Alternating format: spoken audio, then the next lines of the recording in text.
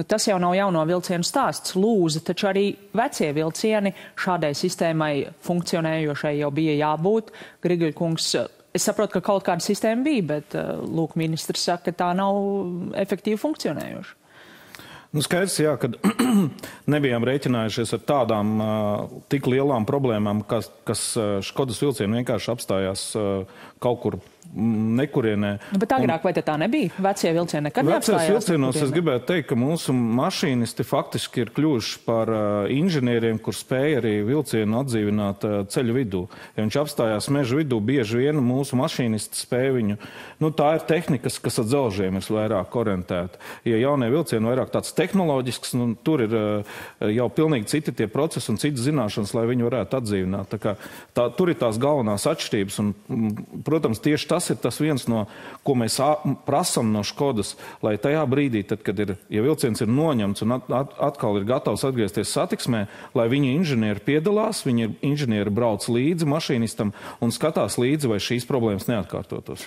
Jūs šodien preses konferencē teicāt, ka jūs esat amatā jau vairāk nekā simt dienas un jūs neredzat tādu kompleksu situāciju šādiem risinājumiem ne tikai dzelzceļa jomā, bet arī tie paši autobusi taču arī nepienāk un nav šie alternatīvie transporta līdzekļi.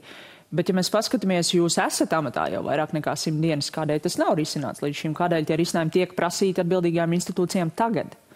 Jā, es eh, šajā gadījumā neesmu gandarīts par darbu, ko vismaz manas ministrēšanas laikā ir paveikusi autotransporta direkcija, eh, ar kuru es jau oktobrī runāja par to, ka ir nepieciešams ieviest attiecībā uz autobusu reisu atcelšanām, kas arī, diemžēl, ir ikdienišķa parādība Latvijas transporta sistēmā, lai nodrošinātu šo alternatīvā transporta uh, iespējas. Bet tad jūs prasāt tos risinājumus, un viņi nepiedāvā. Protams, šobrīd, protams, mēs risinām paralēli arī problēmu ar uh, jebkāda veida vilcienu iziešanu no ierindas. Šajā gadījumā man vakardien manā kabinetā 5 stundu garumā bija sanāksme ar Latvijas dzelzceļu, ar pasažieru vilcienu, ar autotransporta direkciju. Mēs meklējām risinājumus, lai nepieļautu tādu situāciju, kā bija Garciemā, kur mums bija tiešām rūkta mācība, ka cilvēkiem vairāk stundu garumā, tā skaitā augstā vilcienā, vajadzēja pavadīt, jo šis vilciens bija uz sliežu ceļa, kur bija iespējama kustība tikai vienā virzienā virzienā. Un, attiecīgi, eh, nebija risinājumu. Tagad mēs esam vienojušies, ka pirmkārt Latvijas dzelzceļš uh, nodrošinās rezerves lokomotīvas, lai operatīvāk šādu veidu vilcienus uh, defekta stāvoklī aizvilktu līdz tuvākajai stacijai, līdz pasažierus un tālāk līdz depo. Un vienlaikus pasažieru vilciens arī, faktiski tas būtu jādara autotransporta direkcijai, bet tagad steidzamības režīmā pasažieru vilciens ir uzņēmies meklēt risinājumus, lai nodrošinātu arī autotransporta autobusu pieejamību, lai reaģētu pēc iespējas ātrāk šādos gadījumos. Bet nu, kādas ir reālās iespējas? Tie tad ir tukši autobusi ar šoferiem, kuriem tad ir jāsēž un jāgaida, kad būs šāda nepieciešamība. Tas, nu, tas ir viens notikt? no risinājumiem. Jā, protams, mēs esam. Uh, iepriekšējā periodā, tad, kad strādājuši, mums vienmēr ir bijuši sadarbības līguma ar autobusu pārvadātājiem.